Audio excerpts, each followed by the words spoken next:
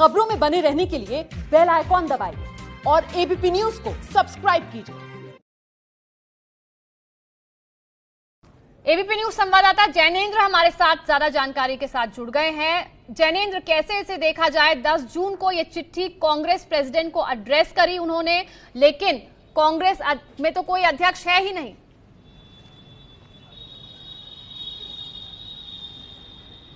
देखिए तकनीकी तौर पर अगर हम बात करें तो राहुल गांधी ने इस्तीफा ज़रूर दे दिया है, लेकिन कांग्रेस वर्किंग कमेटी जिसे वो इस्तीफा स्वीकार करना है, उसने अभी तक उस इस्तीफे को स्वीकार नहीं किया है। तो तकनीकी तौर पर कांग्रेस अध्यक्ष के पद पर राहुल गांधी बने हुए हैं। और ये जब इस्तीफा दिया गया था, वो 10 जून की तारीख है उससे पहले राहुल ने इस्तीफा दिया था, लेकिन अभी भी कांग्रेस में अध्यक्ष के पद पर वही कायम है। कांग्रेस अध्यक्ष के नाम से अभी भी कई कई सारी नियुक्तियाँ हो रही हैं। कल ही महाराष्ट्र के कांग्रेस अध्यक्ष की नियुक्ति की गई है। तो तकनीकी तौर पर राहुल गांधी हैं तो यह प्रश्न नहीं है कि एड्रेस किसे किया गया है।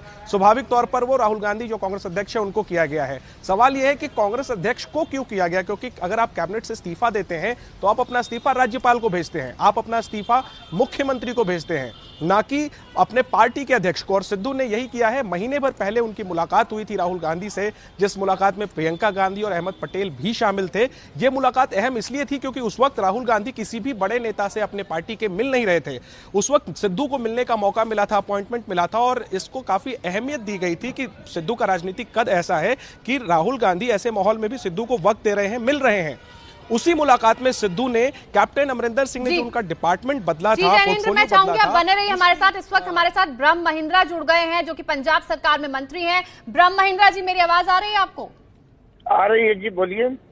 जी नवजोत सिंह सिद्धू ने मंत्री पद से इस्तीफा दे दिया है। सबसे बड़ी खबर आपकी सरकार से आ रही है लेकिन ये जो इस्तीफा है वो कैप्टन अमरिंदर सिंह को उन्होंने नहीं भेजा है। कांग्रेस अध्यक्ष को भेजा था वो भी दस जून को। देखिए, सबसे पहले तो मैं ये कहना चाहूँगा कि नवजोत जी हमारे भाई हैं, हमारी पार्टी को ली हैं, हमारे साथ कैबिनेट में को ली हैं। उनको इस इशू पे इस्तीफा नहीं देना चाहिए था जो राहुल जी को भेजा, उन्होंने जी मेरा पोर्टफोलियो बदल दिया। मुख्यमंत्री जी ने तेरा पोर्टफोलियो बदले हैं। मेरे पास ढाई साल से हेल्थ डिपार्टमेंट था, मेरा भी बदला डिपार्टमेंट तो इससे ये तो सीएम साहब का प्रेरोगेटिव होता है। किसी भी चीफ मिनिस्टर का प्रेरोगेटिव होता है कि उन्होंने किसको कौन सा मंत्रिमंडल देना है। तो पहली बात तो इस्तीफा देना नहीं चाहिए, ऐसी कोई सिचुएशन नहीं, पंजाब में पैदा हुई। ऐसी कोई पॉलिटिकल नेसेसिटी नहीं थी तो इस्तीफा देना पड़े। और मैं तो अभी भी चाहेंगे हम लोग कि इस्तीफा ना दे, इस पे विचार करें। अगर उन्होंने देना ही है तो राहुल जी को जो इस्तीफा दिया है, वो तो मीनिंगलेस है। उनको नहीं उनको अगर देना है, अगर उनका इतना ही मन बना हुआ है तो वो चीफ मिनिस्टर साहब को एड्रेस करें अपना इस्तीफा।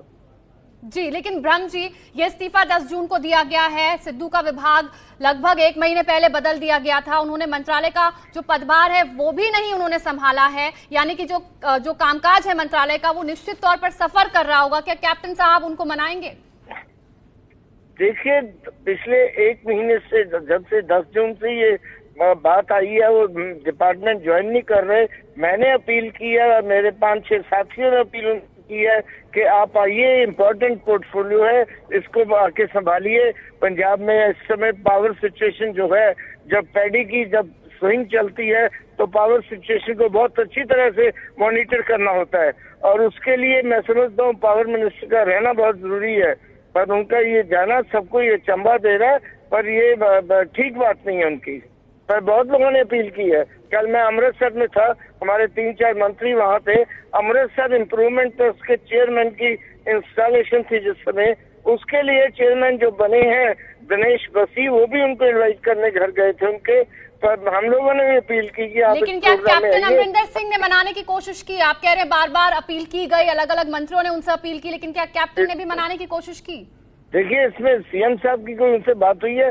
ये मेरे नॉलेज में है हुई है कि नहीं हुई मेरे नॉलेज में नहीं है। पर सब लोग चाहते थे कि वो इस्तीफा अपना वापस लेके कामकाज संभाले। लेकिन इस्तीफे की वजह क्या है? सिर्फ़ मंत्रालय बदलने से नाराज़ आपको लग रहे हैं सिद्धू या फिर कैप्टन अमरिंदर सिंह से जो उनकी तो लड़ाई है वो लंबे वक्त से चल रही है वो जग ज़ाहिर है। इस्तीफा दे मैडम इस्तीफा देने की वजह तो फिर सिद्धू साहब ही बता सकते हैं मैं तो नहीं बता सकता ना। चलिए, ब्रह्म महिंद्रा जी बहुत बहुत शुक्रिया आपका एबीपी न्यूज़ से बातचीत करने के लिए। पंजाब सरकार में मंत्री ब्रह्म महिंद्रा में कह रहे थे कि बार बार अलग अलग मंत्रियों ने सिद्धू को मनाने की कोशिश की कि वो आए, मंत्री मंत्री पद का जो पदभार है, उसे संभाले, लेकिन सिद्धू नहीं माने। 10 जून को सिद्धू ने इस्तीफा दिया था, जिसका खुलासा आज हुआ है। कैप्टन अमरिंदर सिंह के साथ उनकी तनातनी लंबे वक्त से चल रही थी, और आज लगता है सिद्धू ने हथियार डाल दिए हैं। पंजाब में मंत्री पद से इस्तीफा दे दिया।